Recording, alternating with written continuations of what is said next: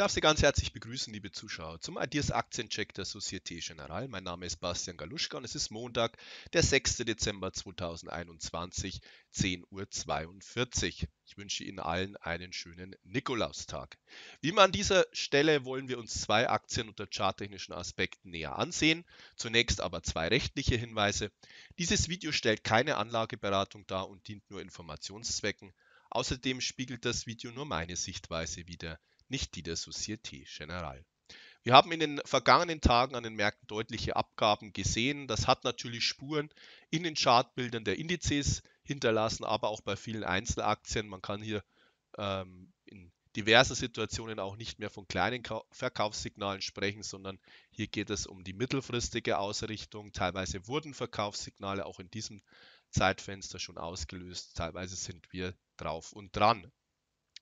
Zwei Aktien, die wir uns anschauen wollen aus dem Bereich der Corona-Gewinner, sind auch kurz- wie mittelfristig gefährdet. Wir starten mit der Aktie von Delivery Hero.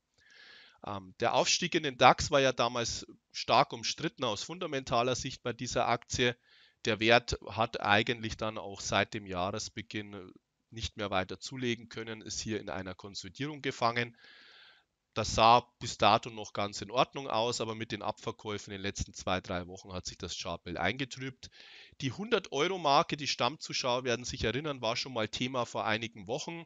Ähm, da drohte dieser Support auch schon zu brechen. Die Bullen haben sich dann nochmal retten können und jetzt äh, sehen Sie, dass am heutigen Montag dieser Support äh, aufgebrochen wird zur Unterseite. Bereits in der Vorwoche haben wir nur knapp darüber geschlossen bei 102,45 Euro. Sollte sich dieses Verkaufssignal weiter ausdehnen, dann ist zu befürchten, dass wir mittelfristig in den Bereich von 80 Euro eintauchen, wo beispielsweise der EMA 200 Woche verläuft.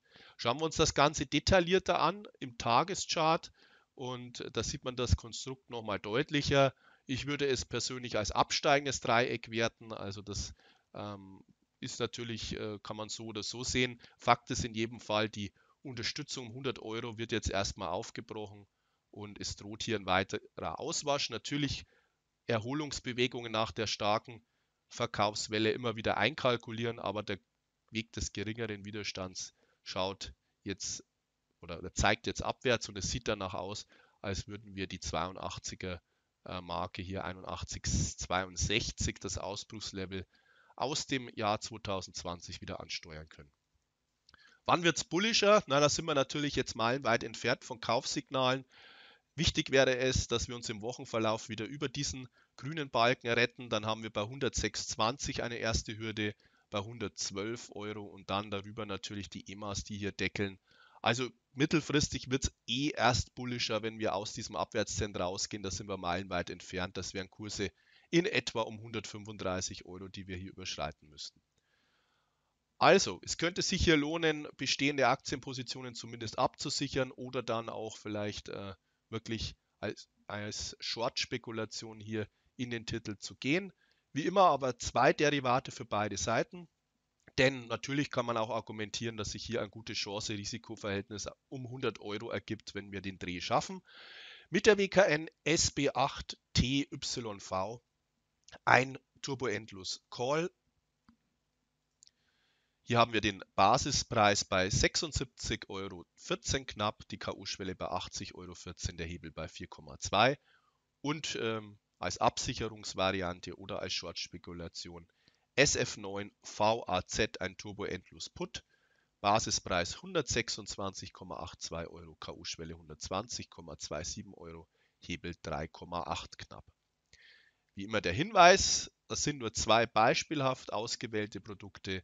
Weitere Derivate auf die Aktie von Delivery Hero, aber auch natürlich viele andere Basiswerte finden Sie auf der Website www.sg-zertifikate.de.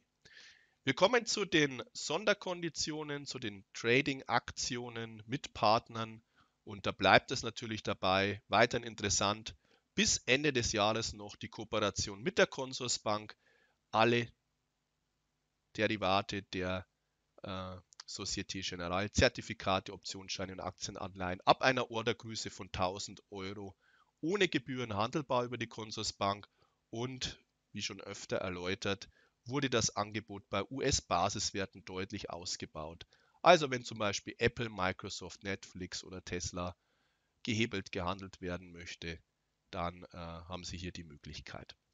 Zweite Aktion läuft seit einigen Tagen mit Trade Republic und äh, hier ist die Societe Generale Partner dieses Brokers und hat hier auch aufgebessert, was die US-Basiswerte anbelangt.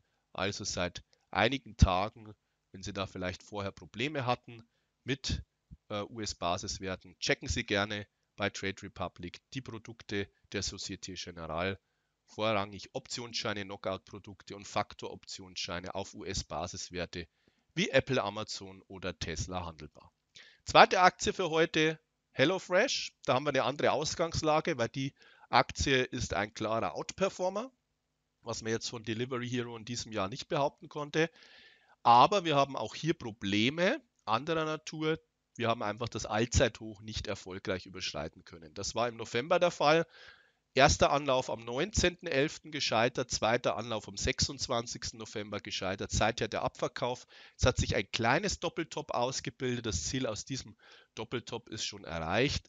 Dennoch geht es weiter abwärts.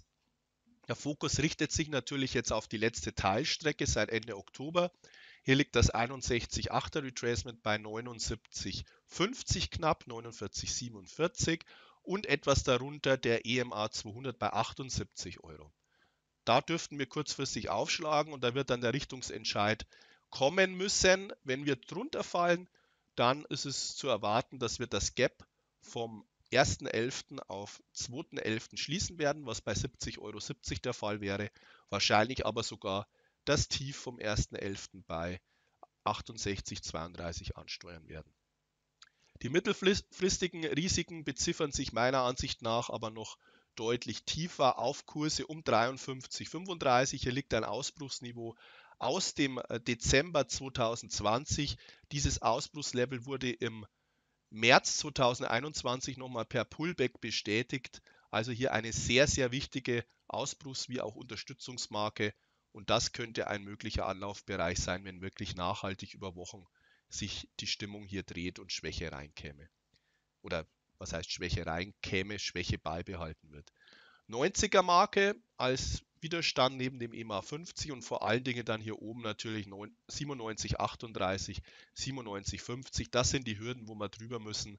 Wenn das Allzeithoch überschritten wird, dann ist das Schlimmste erstmal überstanden und können wir die übergeordnet langfristige Aufwärtsbewegung fortsetzen. Auch auf die Aktie von HelloFresh habe ich zwei Produkte mitgebracht. WKN SF886R, ein Turbo-Endlos Call, Basispreis gleich K.O.-Schwelle bei 62,42 Euro, Hebel 3,9.